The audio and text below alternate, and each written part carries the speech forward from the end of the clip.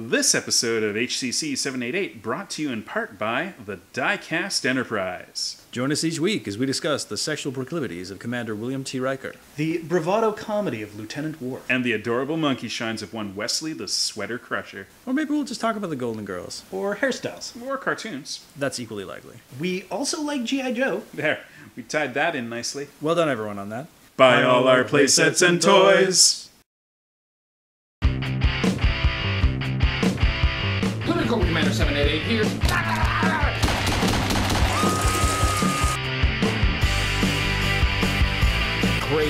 Action figure. So great. Top tier. Love G.I. Joe. Great. I- I'm in hell. Slaughterizing. Sarge, Sarge! Wait a minute. Ready. Ready. Ready silent kill.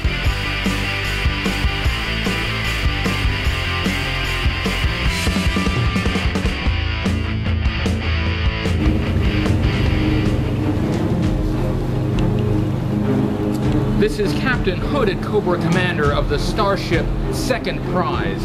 I have been transported to this wilderness planet by a mysterious alien life form. But I am not alone. I am being hunted by. The Gorn.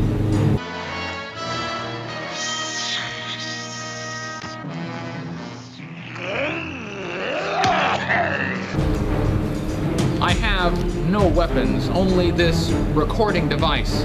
There doesn't appear to be any signs of civilization anywhere.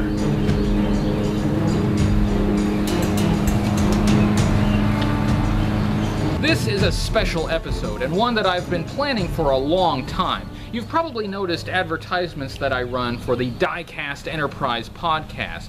Well, the fact is, I love the podcast and the people who run it. You may have also noticed that for more than a year now, I have been giving special thanks to Geoff Adams. Geoff is a host of the Diecast Enterprise podcast, and he has been a solid friend of this channel. He has supported me in more ways than I can describe. And more than a year ago, Geoff did me a major solid by being a guest host on this channel. He did the Cobra Buzzbore review as the face-plated Cobra Commander.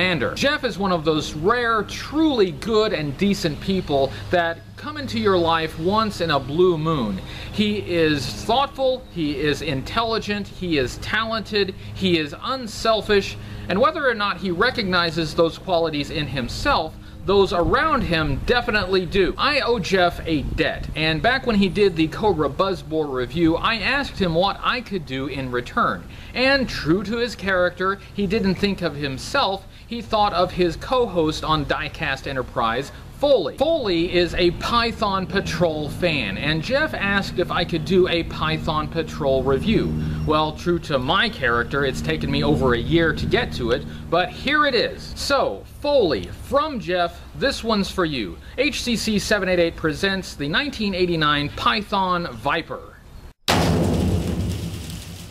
This is the Python Patrol Python Viper. It is the Python Patrol Assault Viper from 1989. This figure was first available in 1989, was also available in 1990, and was discontinued for the year 1991. This is the second version of the Cobra Viper, released in 1986. Even though this is not technically called the Viper, it's called a Python Viper, but despite the naming convention, this clearly is a new version of the Viper. It entirely reuses the 1986 Viper's mold, just with different colors. Even though this figure is usually called the Python Patrol Viper, that isn't really its name. The file card calls it a Python Viper. The combination of the words Python and Viper is an oxymoron. A python is a genus of non-venomous snake. A viper is a venomous snake. What is Python Patrol? It is a sub-team within Cobra that launched in 1989. I have the top of the card for this figure, and on the back it has a description of Python Patrol. It says Python Patrol is a select group of Cobra mercenaries that utilize high tech re outfitted vehicles and sophisticated camouflage for venomous strikes against G.I. Joe. All of the Python Patrol figures are illustrated here, and one thing you may notice about Python Patrol is none of them are new. These are all old figures that have been reissued with new colors. The most obvious comparison comparison on the G.I. Joe side would be Tiger Force, which came out the year before Python Patrol. And like Python Patrol, Tiger Force just reissued older G.I. Joe figures and vehicles with new paint jobs. Also, like Python Patrol, the recoloring on Tiger Force figures was hit and miss. You had some that were pretty good and others that were downright awful. On Python Patrol, you had some decent figures like the Python Viper, but the recoloring on some other Python Patrol figures, which we will review in the future, is so bad that they don't really look like real released figures. They look like knockoffs. Let's look at Python Viper's weapon. He came with what the card contents call an RTD-7 assault rifle with grenade launcher. This is a very substantial weapon. I don't think it is based on any real world weapon, but it looks really good. It has a foregrip here, and uh, this part here in front I believe is supposed to be the grenade launcher. Python Viper's assault rifle is a reissue of the one that came with the original Viper, except in black instead of light gray, and it looks really good in black. I'd have to say I probably prefer it in black. Out of curiosity, I gave the black assault rifle to the original 1986 Cobra Viper, and it looks really good. It looks great in black. And the original 1986 rifle doesn't look too bad with the Python Patrol Viper. It kind of fits with that overall gray uniform. Python Viper's other accessory is his backpack, and his backpack is black. Uh, it has some decent detail on it. Uh, it has a canteen, a couple grenades. It has a sculpted Cobra symbol there on the top. Uh, this is a decent looking backpack. Once again, this accessory is a reissue of the backpack that came with the original Viper. Uh, even the color is the same. These two backpacks look almost identical. Uh, if there is any difference, the only difference I can see is the original Viper's backpack had a slightly glossier finish, and the Python Viper's backpack is maybe slightly more of a matte finish, but that is very subtle. Let's take a look at the articulation on Python Viper. He's a reissue of a 1986 figure, so he had the articulation that was standard for 1986 figures. He could turn his head from left to right and look up and down. He could swing his arm up at the shoulder and swivel at the shoulder all the way around. He had a hinge at the elbow that allowed him to move at the elbow about 90 degrees. He had a swivel at the bicep so he could swivel his arm all the way around. Uh, the figure was held together with a rubber O-ring that looped around the inside. That allowed him to move at the torso a bit. He could move his legs apart about so far. He could bend his legs at the hip about 90 degrees and bend at the knee about 90 degrees. Let's take a look at the sculpt design and color of the Python Viper starting with his head and of course this head is a reissue of the original Viper's head. Uh, the original Viper had a silver faceplate with a blue helmet. The Python Viper uh, has a black helmet uh, with a deep red, I'd almost say a blood red faceplate and goggles. And these colors really work pretty well. Um, I'm not sure if they're quite as good as the original, but these colors are excellent. That deep red and black go very well together. On his chest, he has a gray uniform with a couple black grenades. He has yellow highlights on his shoulders, on his chest, under his arms, and then he has this all over lattice pattern paint application that is supposed to be the radar resistant and infrared resistant camouflage. On the original Viper, it was clear he was wearing a vest over a blue shirt, but it's not so clear on the Python Viper because the chest and the sleeves are the same color. It looks like he's wearing a gray shirt rather than a vest over a shirt. On his arms, he has gray sleeves with that lighter gray lattice pattern paint application on them. Uh, and then moving down his arms, he has black gloves and black wrist padding. Uh, and that black looks really good. What doesn't look so good is the lack of paint application on the inside of his wrists. Uh, those straps were painted in on the original Viper. They are unpainted on the Python Viper, and that's a big knock against it. On his waist, he has a yellow belt with a Cobra belt buckle. Uh, he has some pouches, and that yellow belt doesn't look too bad. It actually fits pretty well with the yellow running down his sides. On his legs, he has gray trousers, the same color gray as on the top half of the uniform, but that Python camouflage pattern does not continue to the bottom half of the uniform. Uh, we do get the yellow stripes down the side of his legs that go around his gray pockets. We round out the uniform with some tall black boots, and those boots do have small knee pads. We will look at the file card in a moment, but let's let's take one more look at the Python Viper. Uh, this peculiar color scheme is part of the Pythonizing process, which is supposed to make the Viper invisible to radar and infrared. But he's got all this yellow on him, which makes him more visible to the naked eye. The original Viper's color scheme had some red in there, but this color scheme overall would have worked well for night missions. The whole point of Python Patrol is camouflage, but the Python Patrol Viper is less camouflaged than the original. Let's take a look at the Python Viper's file card, and the text of this file card is very similar to the original Viper's file card, but you might say this file card has been Pythonized. Anywhere that the original file card mentioned Cobra, they've just replaced that with Python or Python Patrol. Also, instead of the gray background, the Python Viper's file card has this orangey background that was used on all Python Patrol file cards. This top paragraph says the Python Viper is the backbone of the Python Patrol. He is highly motivated, superbly trained, and formidably equipped. Due to the Pythonizing process, this particular Viper is equipped with stealth-like capabilities whereby he can penetrate enemy areas undetected. There's an asterisk here and there's a footnote that describes the Pythonizing process. It says a process in which personnel and or vehicles are outfitted with a primary layer of radar-resistant blackball paint, then blanketed with a thermal wave dispersal grid. Blackball paint is referring to a type of radar absorbent material or RAM. In the real world, aircraft are coated with iron ball paint, which absorbs radar energy and converts it into heat. I don't know if that's ever been tried on a uniform, and I'm not sure it would work. Reading on, it says his combination rifle grenade launcher has been retrofitted with a passive infrared seeker, and the barrel rifling has been changed to accept hypervelocity discarding ammunition. This top paragraph, where it talks about this particular Viper, almost makes it sound like it's talking about an individual rather than an army builder. However, the second paragraph negates that. It says if you want to get anywhere in the Python Patrol, you have to start out as a Python Viper.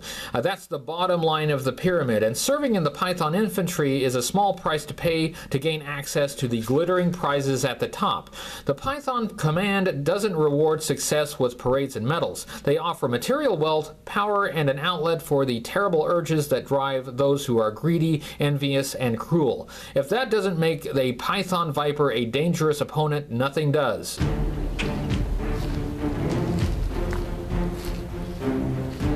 I am staying one step ahead of the Gorn, but he has an advantage. His species is known for its hunting ability. I do not wish to kill my enemy. Starfleet abhors all senseless violence against any alien species, even really ugly ones that are totally not bangable. A snake! It was so well camouflaged I didn't see it. I nearly stepped on it. This gives me an idea. Perhaps if I can reconfigure my recording device, I can transfer the animal's natural camouflage ability to myself. It just might work. Beep, boop, beep, beep, boop.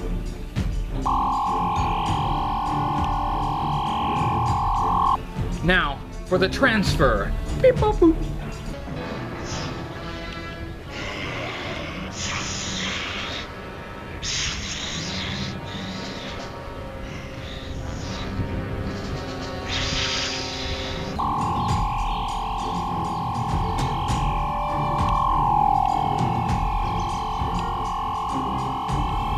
It worked! I've been Pythonized!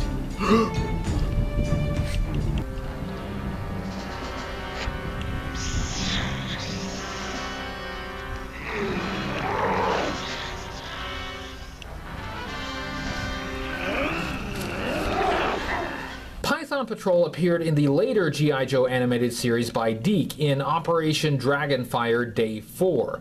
The Viper does appear in that episode as well. Cobra Commander used the Dragonfire, a secret weapon Serpentor stole from a monastery, to change animals into Cobra warriors. Later, he used the same device to alter vehicles and uniforms to form Python Patrol. He used the device to transfer animal traits to his weapons. This doesn't make a lot of sense. The whole idea behind Python Patrol is that their mesh pattern uniforms are resistant to electronic detection, such as radar and infrared. But snakes don't have those properties. In fact, you can detect snakes on thermal and infrared cameras. Python Patrol had a different origin in the G.I. Joe comic book. They first appeared in issue number 88. It was set in the border area between two fictional rival countries, Land and Darklonia. That issue also introduced Darklon, an associate of Destro. Both countries had purchased surplus G.I. Joe and Cobra equipment.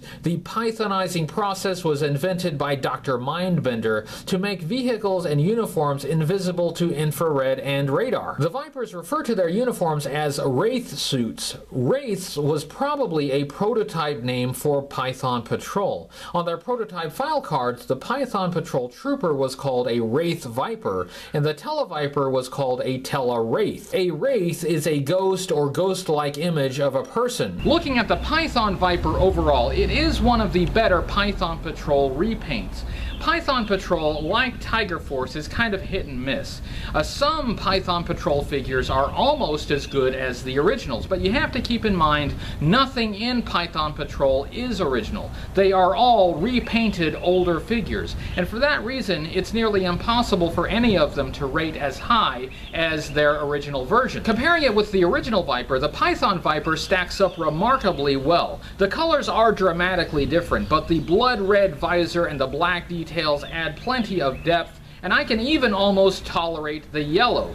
The original Viper wasn't all that well camouflaged, so the yellow doesn't make it much worse. I will say this figure sneaks into the middle tier. It is not bad for a Python Patrol figure. There are other Python Patrol figures that are much, much worse. There is so much still to explore about Python Patrol, we can only scratch the surface in this video. We will revisit this odd sub-team in the future. That was my review of the 1989 Python Patrol Viper I hope you enjoyed it. And Foley, I hope you enjoyed this video dedicated to you, which was so long in the making. Geoff, Thank you for your support. It means a lot to me. I encourage everyone to check out Geoff's work, his comic strip on nonstoppop.com, and his Star Trek The Next Generation podcast, The Diecast Enterprise. Thank you everyone for watching. I'll see you next week, and if you'll excuse me, I am still trying to not be eaten by the Gorn. My Python experiment will make Cobra invincible! Python Patrol, Python Patrol! Cobra's on the attack with Python Patrol! Python Patrol! Attack! Python Patrol's the evil new foe, but nobody beats G.I. Joe! Python Patrol, vehicles and figures sold separately. Attack! Yo Joe! Python Patrol, Python